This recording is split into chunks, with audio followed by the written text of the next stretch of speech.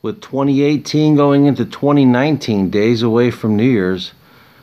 I wanted to start with this little clip of me just kind of hanging out by the pond. Didn't want to walk out into the ice, take a look at the tire. Thinking that's a tractor tire. Someday we'll figure it out. But uh, what would happen instead of uh, celebrating just another year? What if you go back like 400 million years ago? Well, we've got this interesting map here of what's deposited under the earth.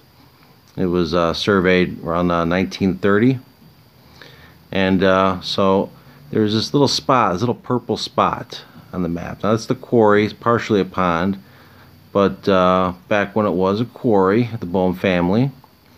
I love this map. It uh, actually shows their, their home off there to the left. Uh, that little line is where the road eventually will be. But uh, when they did their surveying for this uh, this what surface map, the uh, the guys took a look at some of the material there and they labeled it Silurian and uh, it's pretty old stuff. Uh, it's like 400 plus million years old. They got the details of this map pretty correct uh, where some of the old homes were black boxes and stuff like that. But in the creek we have some evidence of this. Check out this fossilized tree.